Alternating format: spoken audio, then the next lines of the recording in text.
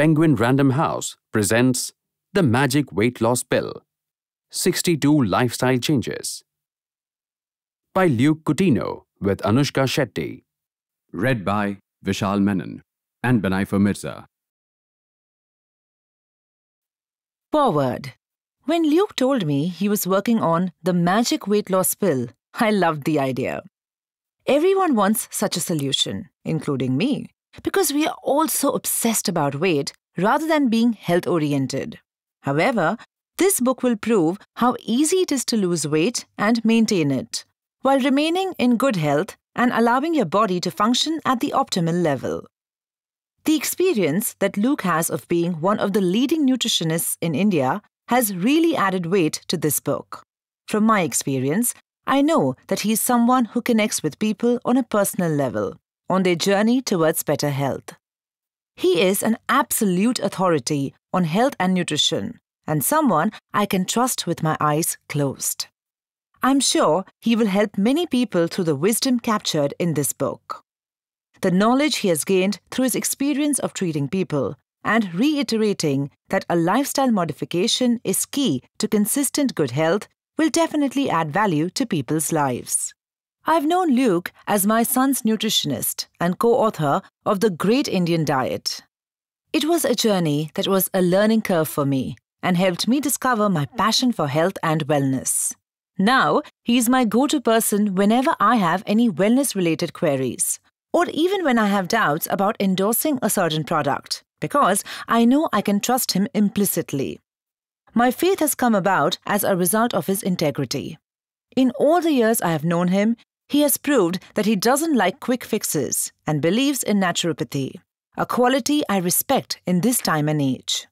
Luke and Anushka, I'm so proud of you. Thank you for empowering the world with your knowledge and experiences. More power to you. I will always be grateful to you. Shilpa Shetty Kundra.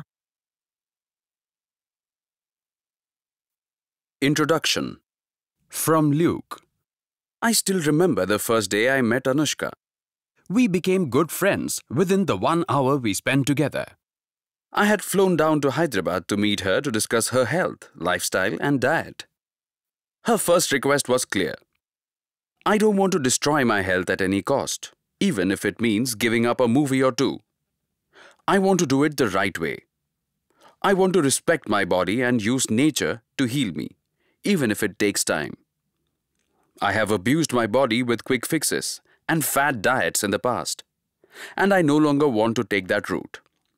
That made me extremely happy. I like people who understand that health is not a joke, and there are no shortcuts when it comes to your well being. There are several that work, but they all come with dire consequences. A few weeks later, we met again in Dubai. As the sun set, we sat on the beach, sipping cold lemon water, talking about life, health, love, yoga, and family. The more time I spent with Anushka, the more I understood how serious she was about sending a message to all the young girls and women that health means much more than just having a great body, great skin, and hair. It is about how a beautiful soul creates beauty. We spoke about weight loss, cancer, and disease, and how lifestyle is the drug when it comes to prevention, healing, and even losing weight. A few hours later, we decided to put together a book of all the most powerful lifestyle changes that have helped people lose weight across the world. We had one vision to send out a message to people struggling with their health and weight that fad diets and exercise programs don't work. Rather, one finds that simple, inexpensive lifestyle changes can bring about powerful changes in one's health.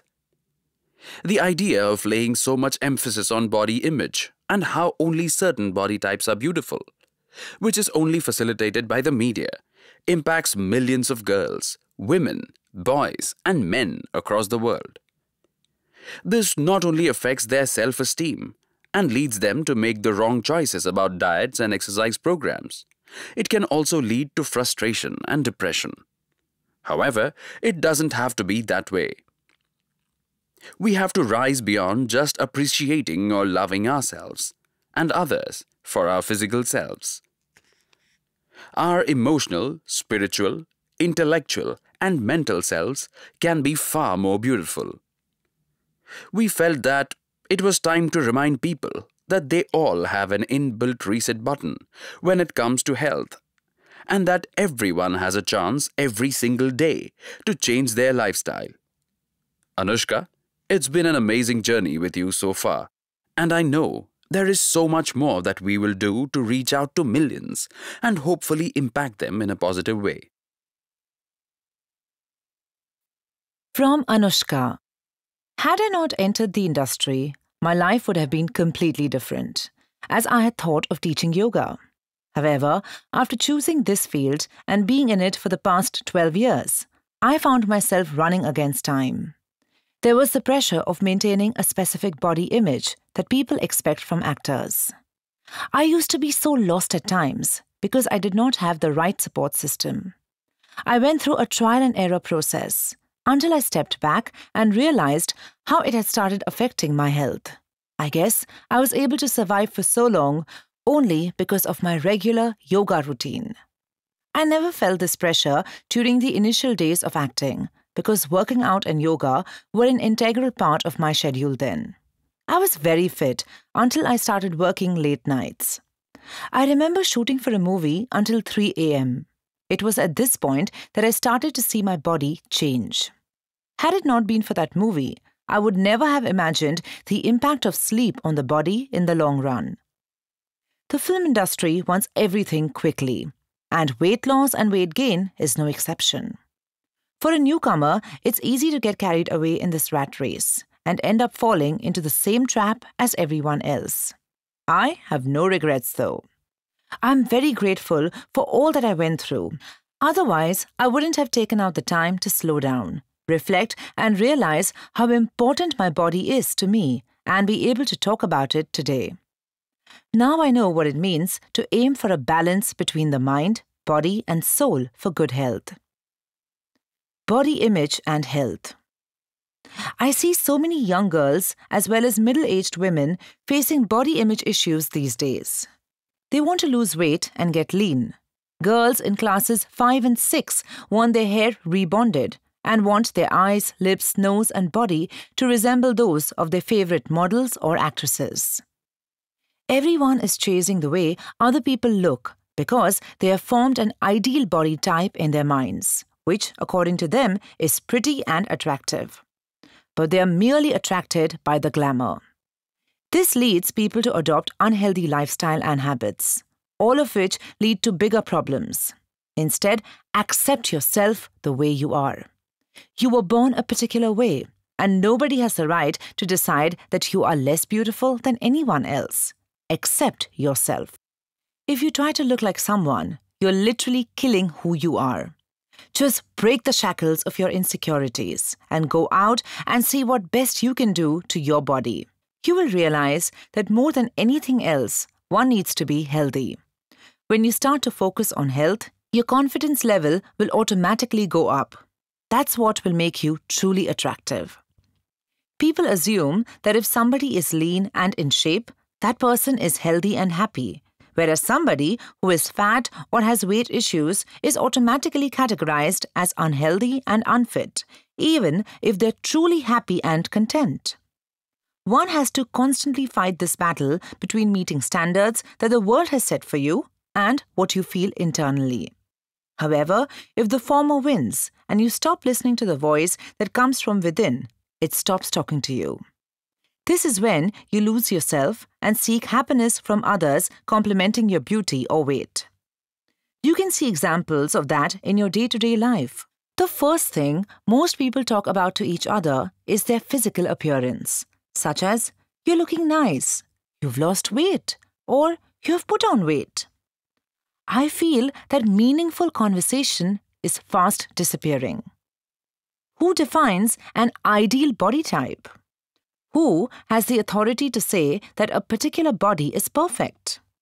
I think it's all self created and goes back to the immense influence of movies, fashion shows, and magazine covers. One must, however, understand that all of that is what a character demands on screen, or it is an image that is orchestrated in print and in shows. When we actors play a character in a movie, we are supposed to have a particular body type. When we go off screen, we are just what we are. I did a movie called Size Zero a few years ago. It was about a family looking for a good match for their daughter and how they forced her to lose weight to find a groom before the wedding. I think it was a great reflection of society today and rightly points to the obsession we have with glamour. It's not just the media that can be blamed for this, as the choice is up to you to use it to your advantage or disadvantage. It's important to apply logic to everything instead of feeling sorry for what you're not.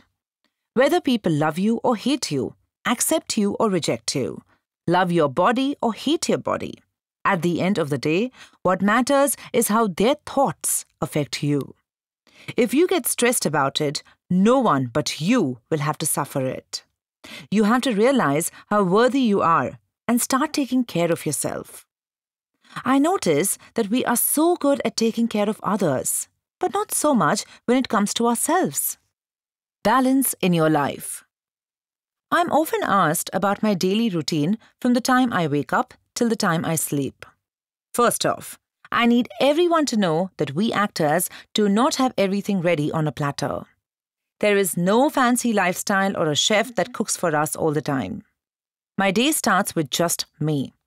There is a choice I make every day when I wake up. Should I take things as they come or get carried away? I have slowly started to learn what my priorities are. On the days I choose to eat unhealthy, I take full responsibility for that and make sure I counterbalance that the very next day. When I have a query about nutrition, I speak to Luke.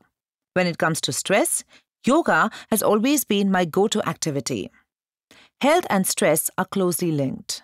No matter how much emphasis you lay on nutrition, it's of no use if you're stressed.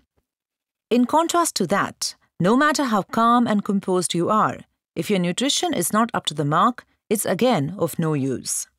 I think balance is the key word for everyone. I, as a woman, take pride in the fact that today's women are so career oriented. Chasing ambition is great, but not at the cost of your health. It's important to strike a balance, for which I suggest the following lifestyle changes. The first would be to take out at least one hour for yourself every day, to do the things that make you truly happy. Secondly, everyone should know they are unique. Today, because of social media, men and women want We hope you enjoyed this preview. To continue listening to this audiobook on Google Play Books, use the link in the video description.